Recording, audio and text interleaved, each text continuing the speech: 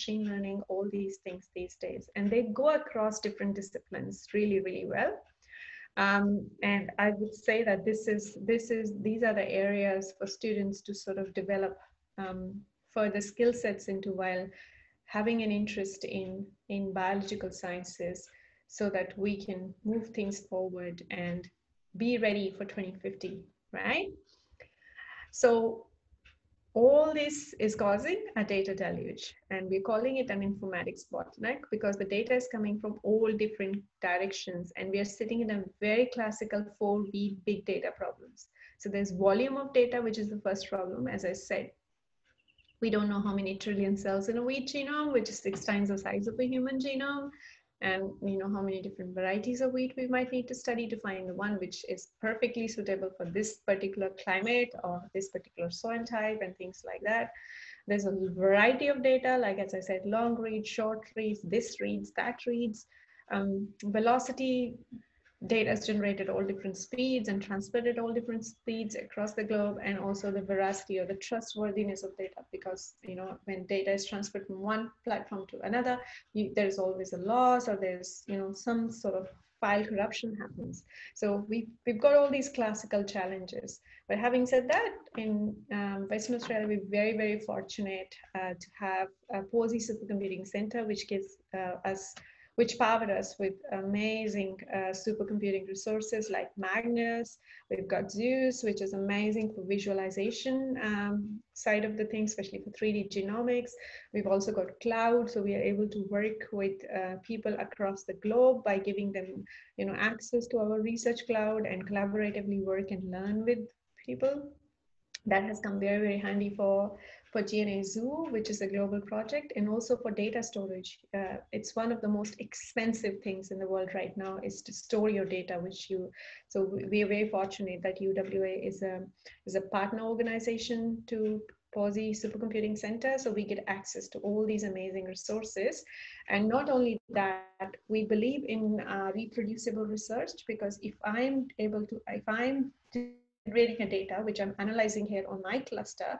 And if I give that data to you, you should be able to analyze the data and get exactly the same results. It's very, very important to have reproducible research. And for that, we practice containerized bioinformatics so that um, it's independent of the compute environment and it's kind of like readily uh, shareable and transferable to uh, everybody else we work with. With that, I would like to acknowledge all these amazing people and organizations who've given me an opportunity to work with them, came along on my journey, on my passions, and, um, and made this work possible. Um, and also to my son, here he is working with Abdi on the remote sensing side of the things. When he was only one year old, he's always been there, and all my colleagues who've been very, very accommodating uh, for a young uh, for a young family which I have to care for. So with that, I would like to say thank you to all of you for listening, being so patient. Um, and this is how we do uh, agriculture or other sciences at UWA. We try to enhance genetic gains and understanding through innovations and also paying attention to the nature around us. Uh, please feel free to follow me on Twitter at dr underscore Parwinder. I'll be very happy to take any questions you've got at this moment. Thank you. Thank you, ma'am. Uh, it's always when I uh, view your talk or listen to your talk, it's feel like we know very small. it's it's many things we can we can do and is a great opportunity because uh, I know your uh, PhD and postdoc work. It's it's create a field like it's a long work and is a, a very a very systematically way you you did that phase of your research life. So it's create very much and very interesting new field. So ma'am, there is a few questions we have selected from our YouTube channel. Uh, I I going to paste it into the uh, into the uh, our chat box in Zoom chat box. There is a uh, I just wanted to paste here for you. You can choose. There is a uh, mentioning that uh, there is an arrow. Ar uh, there is uh, brackets. Brackets mean the name of the attendees and and the questions followed by the question. Mm -hmm. Can you hear? So, yes. yes, I can see the chat box now. Okay. So shall okay. So I've got a question here which says, can you share how you sample from 10k accessions to get the core collection? What are the parameters? Uh, and the question is from Alvarino. So um, I hope I said your name right. So, but um, how you so this is a method uh, called core collection development and there are a lot of publications around that how you develop core collections but the key key is that you look at many different layers of um, data collection to do that. For example for our core collection particularly we had three layers of data. We had agro um, we had um, eco-geographical data like where the the accession is collected from. We had agromorphological data uh, which is like you know all kind of parameters which were collected alongside when it was collected in terms of leaf um, petiole length, leaf diameters, everything, agromorphological characters. Uh, and then we also had bioclim data associated with those um, geographical locations. So there is a website called bioclim where you can actually put in a particular geographical location and you can get rainfall, all sorts of parameters from that, like what, what is the height of that place and what is the amount of annual rainfall, what is the wettest month, what is the, all sorts of things. And then lastly, we also generated a lot of molecular data. And then using all these parameters, you run it through many uh, different workflows. And one of them is MSTRAT, and then you can develop a core collection. So there's a, there's a papers published on that. So please feel, feel free to read for further details. I hope I've answered that question um, um, and explained to you. Um, so next question I've got from Eastward Agree. What are the benefits of contact mapping? Okay, um, Eastward, as I explained, uh, I hope I explained it well with the Homer Simpson slide. So if you do know that which part comes in contact with which part more often, you do um, so you do know that that means that those parts probably been sitting close enough to each other and that that helps you understand you know um, the architecture of the genome. So that that's what exactly contact mapping is like how far that contact or how often they contact each other can we use Hi-C technology in plant or animal species which are not sequenced? Absolutely, that, ex that is exactly what we're doing. And that is, there's lots of examples, hundreds of examples for you to go and explore on DNAZoo. Uh, on the DNAZoo website, which I shared with you guys. Um, what makes, I've got another question from Jamir.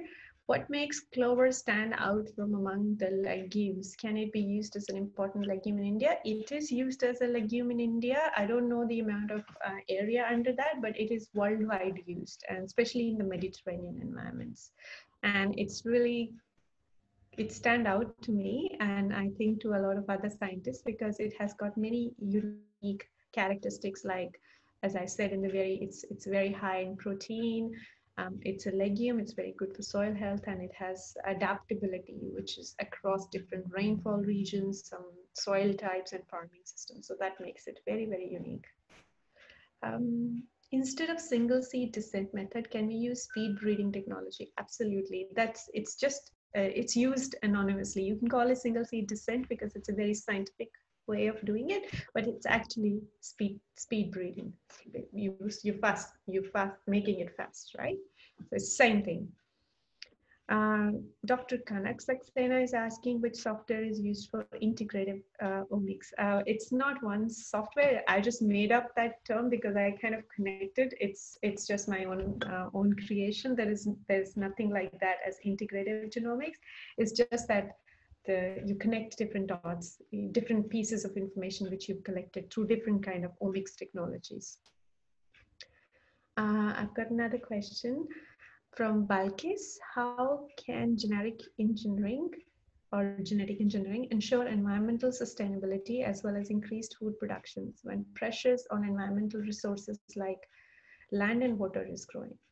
Uh, so to answer that question, um, I would like to take an example of the root hairs, which we have been, you know, we've been trying to extend the root hairs. So what happens is if you have better root hairs, you're able to um, you're able to find the micronutrients, you know, even if it is far away from you, if you're a plant, right? So that way, even if there's minute amounts of phosphorus present in the soils, you're able to find it and use it for your um, growth. So that's good, right? Because then you don't need to put a lot of phosphorus into the soil, which causes a lot of problems. Because if you put too much micronutrients in the soil, they go in the waterways and then they cause eutrophication, so many environmental hazards. So less is more, but you've got to be able to have ways to find that less, right? And that's what we are empowering our plants with using genome, genome editing. So nature has always selected. You know, nature is even now selecting among humans who can survive COVID. And you know, it's it's the same thing. You you do it yourself or nature does it to you. It's but there is a fine balance of upsetting that system. So yeah. Um, I hope I answered that question. So next one is from Anita, Anila. What made you to choose to study clover over other plants? Okay, um, I think I had a slide on that one. So clovers, um, it's a diploid species, two copies, small genome, inbreeding so there was no like kind of it's not changing every every time it's crossing with the other plants so there was a lot of advantages to study clover because when you're starting in your career um, and you're exploring uh, some there was there was a lot to learn to be honest. And you have to you can do what you can do in a certain amount of time. So you have to choose carefully a system at least a system is established or a plant is good so that you can try other things. So there's a limit to what you can learn and explore, right? So that was one of the reasons. And I, I absolutely loved um, the clover connection with the methane and environmental impact I could make by, you know, doing some good work in that area. So that was that was one of the reasons. And of course, the amazing people I worked with. Um, can clover be helpful in agriculture area during drought time and will it be able to fulfill food requirements? Um, sorry, it's it's a pasture. It's uh, it's humans do not consume it. It's for animals. It's a it's a fodder species. But yes, it is. Um, it it has. Um, we have identified genes which can make it survive in drought um, or less uh, water uh, and which could be useful if you are able to transfer those genes or translate that information into other species like wheat or you know which humans eat so everything is connected. You find something here and then you can always you can go reverse genetics. As i showed you an example and maybe that would be a useful thing to do in future. How AI and machine learning can be integrated in plant research. Okay, so there are many I mean, it's it's really your creativity how you integrate it.